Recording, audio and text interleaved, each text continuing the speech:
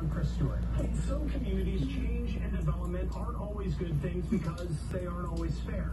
And that's why the vision for these empty lots here on the south side of Chicago is different. The hope is it will bring a better future, grow from within.